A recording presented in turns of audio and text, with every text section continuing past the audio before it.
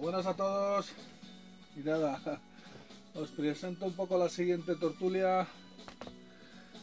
Esta vez un poco de un título obligatorio. En este caso, el Outrun. Outrun. Un título sacado por Yu Suzuki en el año 86 y bueno, que marcó un poco las salas recreativas y, fue un poco el avance un poco de pues de, la, de la velocidad en términos así. Os voy a presentar varias versiones y demás para que bueno, para que veáis un poco eh, en las diferentes plataformas que salieron. La verdad que fue un, título que tuvo bastante auge y, estaba muy bien, muy bien. Bueno, perdonar un poco como siempre con los, los errores de grabación un poco que van sobre la marcha y demás. Bueno, de primeras mostraros un poco las diferentes versiones y demás.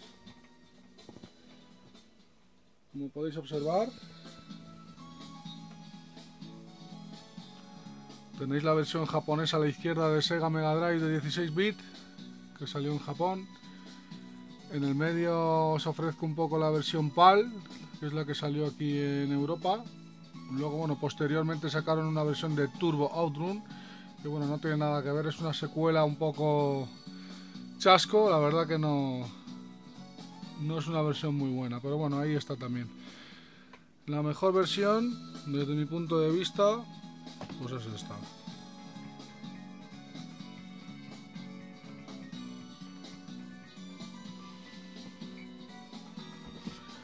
Aquí os he puesto otra versión, bueno, esto futurísticamente la llamaron 2019, pues como si fuera un avance de, de la época. O sea que fijaros un poco la, el avance que tenían un poco de en el nombre de los títulos y, demás. Es como las películas de hoy en día que, que, ya las están nombrando pues como si estuviéramos en el 2070. Pues es igual, ahí fue un poco el avance de los 80 que lo quisieron llamar pues como un avanzado año 2019, 2020, digámoslo así. Esta es la versión japonesa que os he puesto aquí en el 32 aquí japonés. También es una versión muy buena, además que va a 60 Hz, o sea que la, la rapidez se nota un montón. Y esta es la mejor versión, desde mi punto de vista y mi gusto. La más rápida, 60 Hz, super fluida,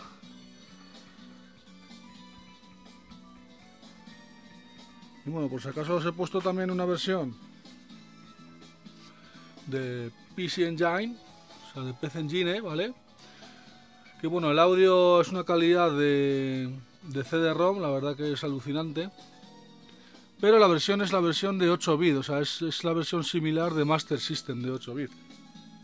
Y demás. La verdad que es una versión muy lograda, o sea, que va bastante fluida y va muy bien para la maquinita.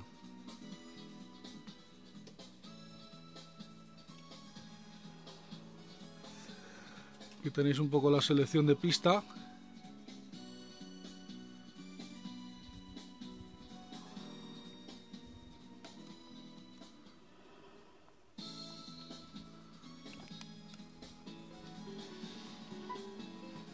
Subo un poquito el volumen para que lo oigáis.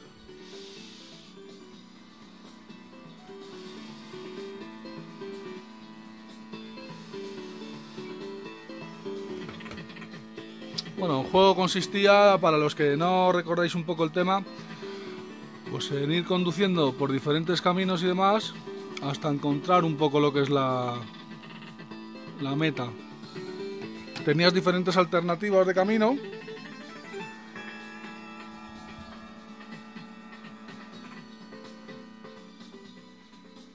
Y la verdad que se hacía pues bastante ameno.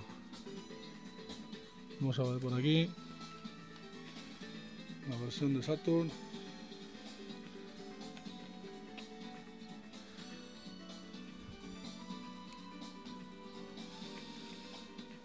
Bueno yo como veis lo pongo todo en fácil automático. Se puede poner con marchas manuales y demás. Pero bueno. Aquí igual, como veis la, pues la selección de pista, el salpicadero del testa rosa en este caso, muy targa, muy versión targa y bastante pues de, la época. Ya os digo, esta versión desde mi punto de vista es la que mejor la que mejor se genera.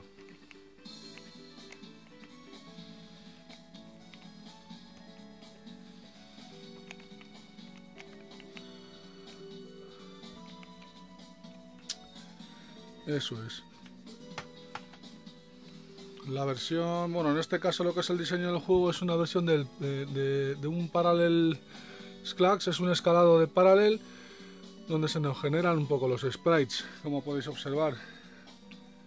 Se va generando como una especie de, de efecto envolvente que a la vez es lo que nos genera un poco en la visión a la hora de jugar al título. Perdonad por el vídeo, pero bueno, es un poco el directo y voy un poco al vuelo también. Para que lo veáis un poquito.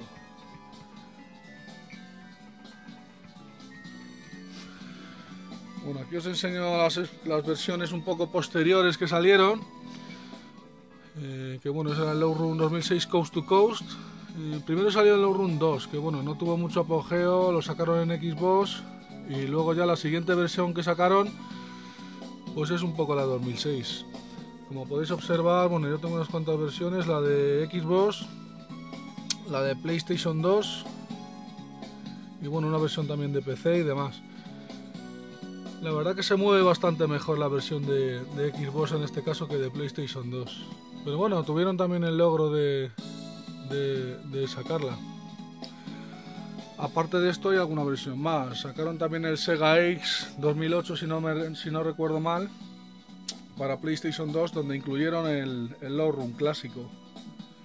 El Low Room 2, pero bueno, no tenía nada que ver con, con el diseño y con tal de del título, título original. Os enseño un poquito por aquí la versión japonesa.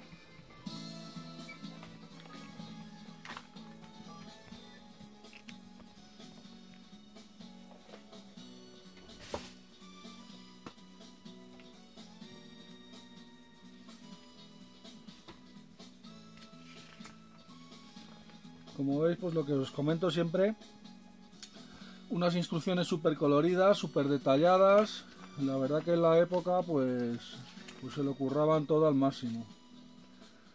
Esto es lo que os comentaba del pequeño mapa donde al ir jugando vamos seleccionando un poco el destino de la carretera y llegamos a diferentes sitios. Según la meta pues tenemos un final diferente en cada, en cada terminación Aquí podéis observar un poco lo que es el mapita de... Hay algunas pantallas que cambian, que en la versión PAL las llamaron de una manera y en la versión japonesa lo llamaron de otra.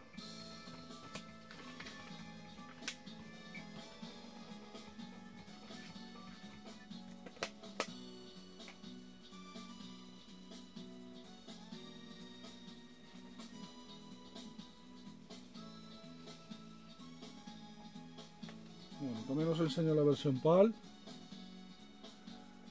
La verdad que se ralentiza un poco. Bueno, en este caso no tengo el manual. Y el cartucho que conseguí pues está un poquito, tiene un poquito de desgaste, si podéis observar en la pastilla de en la pastilla del plástico. Pero bueno, está perfectamente funcional. Es un juego bastante accesible, que no, eh, no, está todavía muy caro en el mercado. Todavía lo podéis encontrar por unos, unos 60, 70 brillos por ahí aproximadamente. Esta es la mejor versión.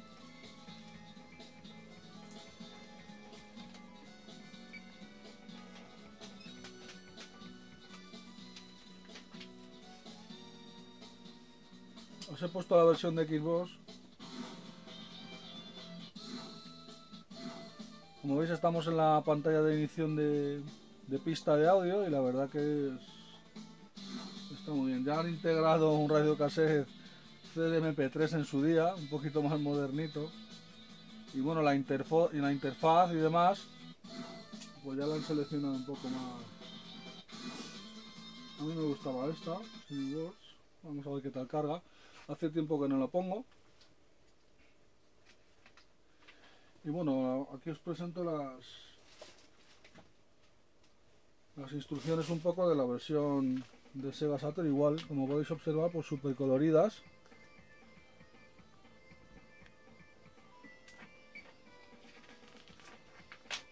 Tenía opción también del volante, el arcade Racer de su día, y para el mando también, y demás.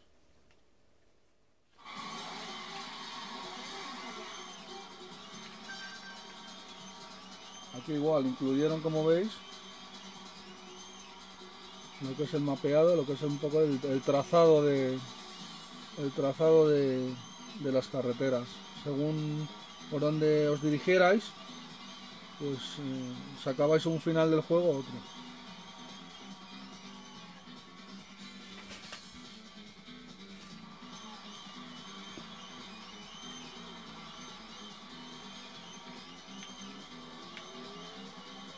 Como veis gráficamente, esta versión es pues ya bastante avanzada, es un título prácticamente modernito de la época. Incluyeron diferentes modos de juego, que bueno, desde mi punto de vista pues es un poco... Soy un poco más de lo tradicional, pero bueno, le dieron bastante vida al juego, había diferentes modos de coger puntos, corazones, un modo de ir dando unas pelotas, la verdad que era bastante...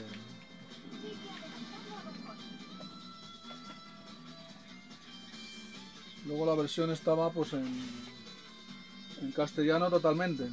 que la versión estaba traducida y, y muy bien. Aquí os hago un poco un plano general. Por el reflejo no sé si se verá un poquillo bien.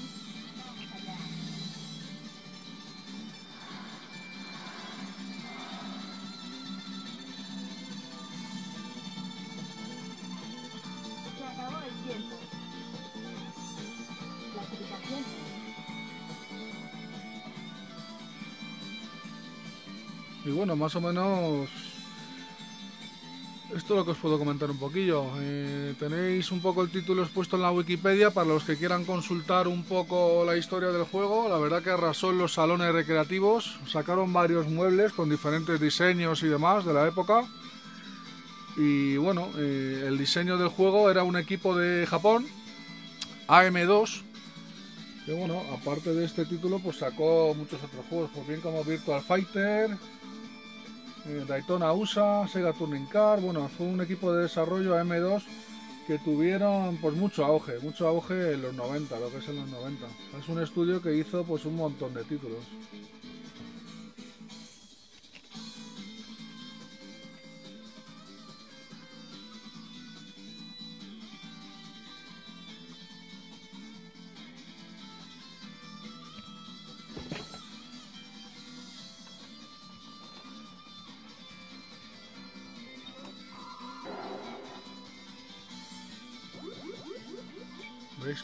Observar, esta versión de Sega Saturn.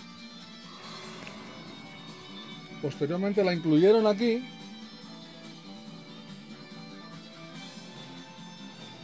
Pero la incluyeron en un recopilatorio que se llamaba pues Sega X. Es donde incluyeron un poco pues este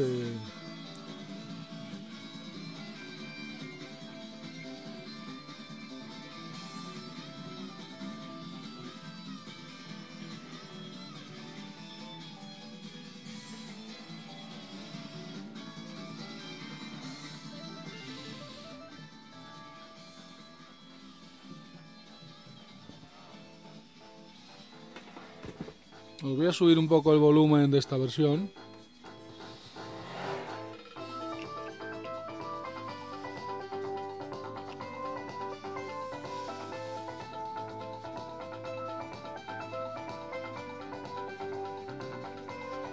Bueno, como podéis observar sale alguna franja a efectos de frecuencias del televisor. Pero bueno, no pasa nada. ya que al grabar el vídeo pues se nos genera ese pequeño parpadeo para el ojo. A ver si así lo podéis observar un poquito mejor. Y sobre todo pues oír un poco la calidad del, del audio. Una banda sonora excelente, como muchos otros títulos.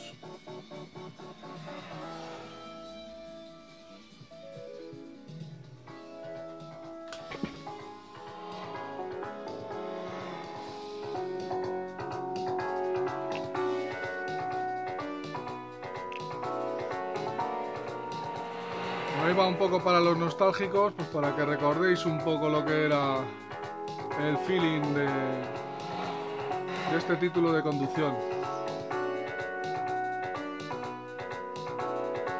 Como podéis observar, se mueve maravillosamente mal, cómo se bien, cómo se generan las cosas. Y la verdad que es un gustazo, es algo alucinante.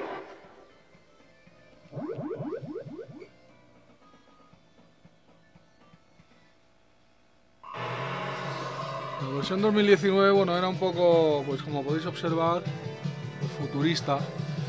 Quisieron dar un enfoque, pues como futurista, como adelantando el título a su tiempo, a su, a su época, para que lo entendáis. El coche era más como una nave galáctica, era un poco más galáctico y demás, y bueno, la verdad que era un poco ya... Era otro feeling, ya el título pues daba un poco que desear. Digamos que fue un poco el último cartucho a la hora de sacarlo y demás. Esta versión en sí no la tengo, pero bueno, os la he puesto un poco en el, lo que es en el Everdrive, lo que, que dice. Hay un poco, pues, para los que no, no, no lo conozcan, ya haré un especial de Everdrive y de cartuchos Flash. Es un poco donde podemos hacernos con un catálogo de títulos que ya muchos hoy en día pues son son bastante difíciles de conseguir, ya lo sabéis. sobre todo, pues, su precio ya es bastante, bastante excesivo. Os voy a poner esta versión ahora para que la veáis.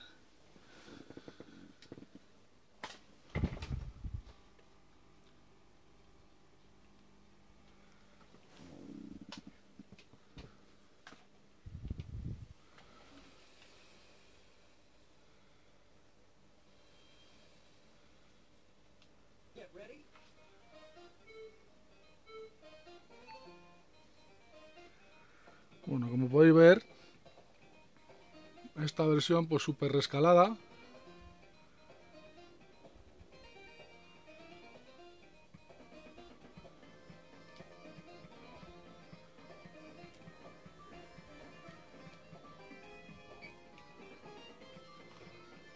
Bueno, aparte del volumen de la tele, tengo puestos unos altavocillos. Después de tiempo averigüé cómo sacar el audio, ya que el cable RGB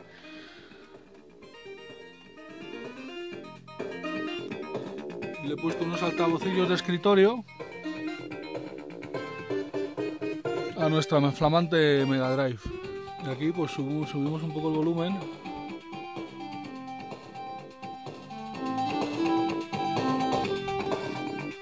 Como podéis observar y oír,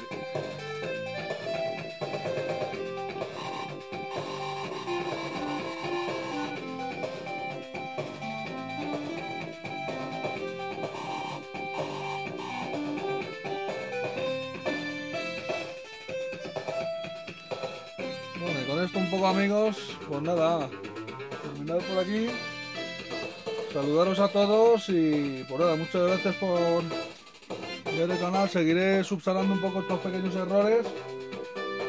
Y bueno, pues nada, aquí presentaros un poco esta opción. ya te digo, el siguiente título no sé cuál será, pero bueno, la iniciativa es un poco pues ir enfocaros un poco el diferente apartado que ha habido y demás.